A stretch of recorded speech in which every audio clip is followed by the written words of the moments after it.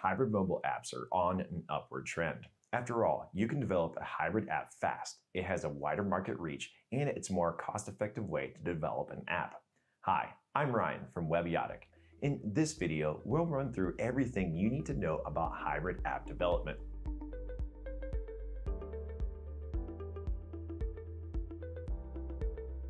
A hybrid app is a software application that borrows elements from web and native applications.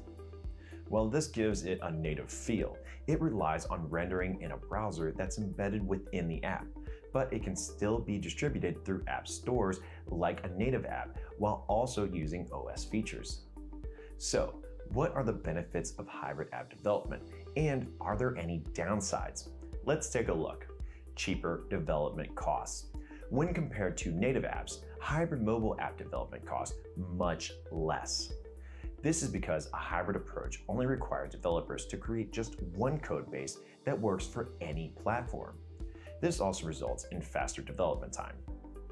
Wider market reach. Conducting research and finding your target audience should play a big role in which platform you choose to develop for. But in some cases, it makes sense to make your app available on all platforms for a wider reach. This is another big benefit for hybrid app development since hybrid apps can be used on multiple platforms. Maintenance. Since hybrid apps only have one code base, you can expect maintaining your app to be much faster and easier. Now, for the downsides of hybrid app development. Since native apps are platform specific, they're optimized for maximum performance. Hybrid apps rely on a third party platform to deploy its wrapper, that extra layer that can result in slower performance. Another downside to hybrid approach is that there are limitations when it comes to features and functionality. Hybrid frameworks don't typically include support for every native feature. Since hybrid apps are built for multiple platforms, you'll be needing a cross-platform framework to actually create your hybrid app. These frameworks for hybrid apps are useful because they contain APIs, libraries of code, some reusable, and other crucial features that will help get your hybrid app developed faster and with ease. Here are a few of the best hybrid app development platforms. React Native.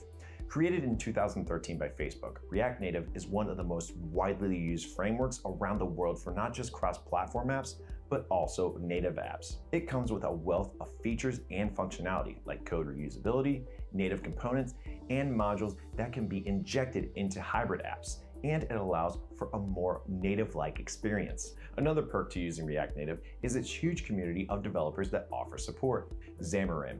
This is another popular framework, which shouldn't come as a surprise since it was created by Microsoft. Xamarin uses C Sharp on a .NET framework and is compatible with multiple devices. Developers prefer Xamarin because it allows for up to 95% of code reusability and has a variety of cross-platform features that won't affect the app's performance or user experience. Flutter.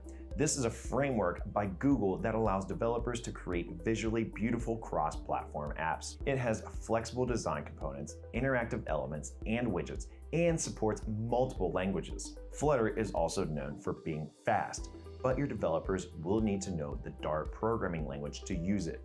Ionic. Ionic is an Angular-based framework with a rich collection of robust features, UI components, and predefined elements. It has debugging tools, a live reload system, and a CLI that can streamline the development cycle for your app. So, which platform will you use to create your hybrid mobile app? I hope you learned something today about creating the best hybrid mobile app. For more help with your app, subscribe to our channel. If you like this video, please like it and share it with others. Thank you for watching.